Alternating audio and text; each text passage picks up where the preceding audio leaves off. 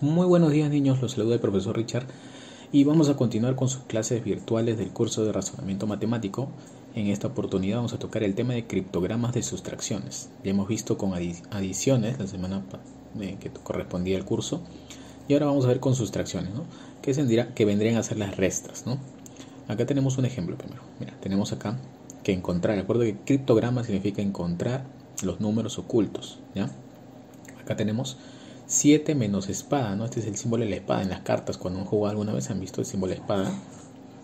Este no es el trébol, es como un copo de nieve, ¿no? Y este es un corazón. ¿Cuánto valdría la espada? Porque yo trabajo siempre de las unidades, después paso a las decenas y paso a las centenas, ¿no? Acá ya está resuelto, ¿no? Ya me han dicho cuánto vale cada uno de ellos, pero ¿cómo, cómo lo hemos resuelto? Para recordar, ¿no?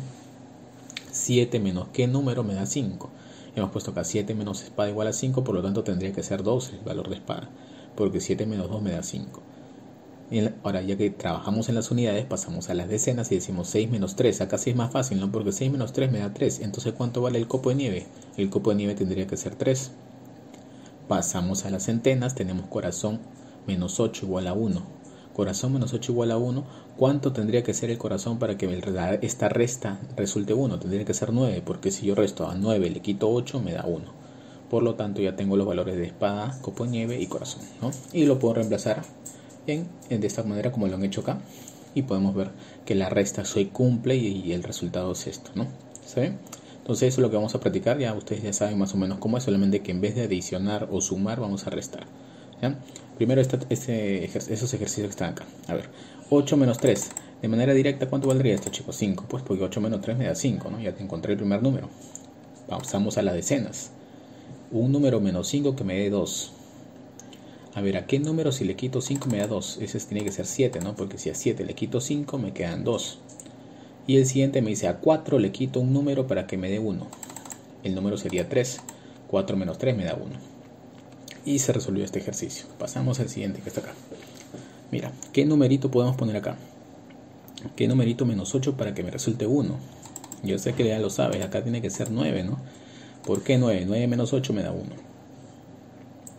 Acá, ¿qué número sería? Mira, tengo un número menos 3 para que me dé 3. El número tendría que ser, chicos, el número 6, porque 6 menos 3, 3. Y el último ya en la centena sería más práctico, 2 menos 1, ¿no? Fácil, 1, ¿no? Pasamos al ejercicio de la derecha. Tenemos, mira, nuevamente 2 menos 1, chicos, ya, eso ya lo sabes, 1. 5 menos un número que me dé 1. A ver, ¿a cuánto le puedo quitar a 5 para que me dé 1? O sea, 5 le quito 4, me da 1. Entonces sería 5 menos 4, 1. Y en las centenas, ¿a qué número, a un número le tengo que quitar 5 unidades para que me dé 2? Ese número sería 7, ¿no? Si a 7 le quito 5, me da 2, ¿no? Pasamos por acá. ¿Qué número para que yo le quite 3 me dé 0? 3, pues, ¿no? Si yo a, 3 le quito 3, me queda 0, ¿no? 3 menos 3, 0. Acá sería más fácil, ¿no? Porque ya me dan los números. 6 menos 4, 2. Y el último sería 9 menos 8, me da 1, ¿no? Si a 9 le quito 8, me da 1. Y así como tú ves, estamos completando ya estas, estas sustracciones, ¿no? De manera sencilla nada más. Mira, acá 4 le tengo que quitar un número y me dé 5. Como te das cuenta, acá 4 es menor que 5. Entonces, acá no se puede quitar nada, se le tiene que prestar más bien. Acá es una, es una resta o sustracción prestando. Entonces, ¿quién le va a prestar a 4 para que sea mayor a 5? El que le presta es el número de la decena que está al costado, que es 2. 2 le presta 1 y se forma acá el número 14. ¿ya? Entonces, tengo acá 14. 14 menos qué número me da 5. El número sería 9 porque si yo a 14 le quito 9, me queda 5. Oye, pero este número ya no es 2, se convirtió en 1. Acuérdate, porque está prestando, se convirtió en 1. Y 1 no puedo restar con 3, ¿no? Entonces, ¿quién le tiene que prestar? El que está acá, pero no conocemos cuánto es. Pero le voy a prestar 1. ¿Ya? Entonces sería 1 y más el 1 que me quedó acá, formo el 11. Sería 11 menos 3. Acá el número me quedaría 8. 11 menos 3 es 8. Ojo que acá me tiene que quedar un número que restado menos 1 me dé 6. ¿no? Tú dirás rápidamente es el 7, ¿no?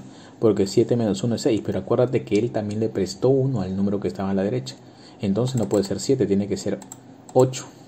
Porque 8 le prestó 1 a la derecha y ahí recién restando queda 7 menos 1, 6, ¿no? Entonces la respuesta sería así, ¿ya? De esta manera. ¿Está bien? Pasamos al último ejercicio que está. Mira, tenemos un número menos 2 que me dé 6. 8. 8 menos 2, 6. Acá 1 menos qué número me da 8. Acá también tenemos que ver qué número, porque mira, 1 menos, menos tiene que ser prestando, ¿no? Para que podamos, podemos restar y obtener 8, ¿no? Entonces el 7 le tendría que prestar para formar 11. Y 11 menos qué número me da 8? Sería 3, ¿no? Porque 11 menos 3 me da 8. Pero acuérdate que él le prestó, se quedó en 6. Porque si le presta 1 a la derecha, se queda con 6. 6 menos 4, acá sería 2. ¿Está bien? Entonces de esta manera ya hemos resuelto estas sustracciones. Y es el procedimiento que tienes que... No te confundas en las dos últimas, se está prestando. Se está prestando, entonces hay que tener cuidado con eso. Pasamos a la segunda parte de la actividad que sería encuentra los números que faltan y completa las tablas. Tenemos esta primera tabla, mira, tenemos acá que restar esta, esta columna a la izquierda con la eh, fila superior. Pero me falta completar estos dos, ¿no? Acuerda que se tomaba ya de manera horizontal y vertical, ¿ah? así que lo vamos a hacer de manera directa. Acá primero, ¿qué número iría ahí? Acá iría 12, porque mira, 16 menos 12, 4. ¿Y acá qué número podría ir? Mira, tendría que ir 29, porque mira, 29 menos 4, 25. Ahora simplemente ya voy a trabajar con estas dos para completar esa tabla que está en el medio. Acá primero, 16 menos 4, 12. 16 menos 15, 1. 29 menos 12, 17. 45 menos 4, 41. Y por último, 45 menos 15, 30, ¿no? Estamos restando 45 menos 15, 30. Ya ustedes ya saben cuál es el mecanismo. ¿eh? Esto es lo mismo, pero solamente que en vez de sumar estamos restando. ¿Ya? Acá indica bien claro, de esta columna resta a todo lo que está a la, en la fila superior. Pasamos a la siguiente tabla. Tenemos lo siguiente. Mira, 18 menos este número me tiene que dar 11. Entonces, ¿qué número sería ahí? 7, porque 18 menos 7 me da 11. Acá, 36 menos este número me da 21. Entonces tendría que ser 15, porque 15 más 21 me da 36, ¿no? A ver acá, sería el número 27, porque 27 menos 7 me da 20.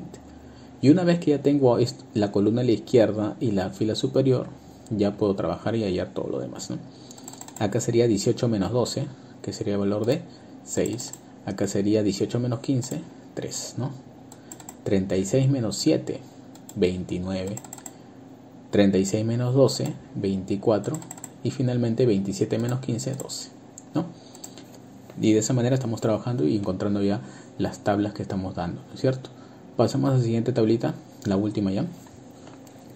Mira, Acá me faltan más números, más datos, no importa. Tenemos que buscar dónde están esos, esos datos para poder trabajar. Mira, este lo puedo encontrar rápidamente. Sería 13. ¿Por qué? Mira, 49 menos 13 me da 36.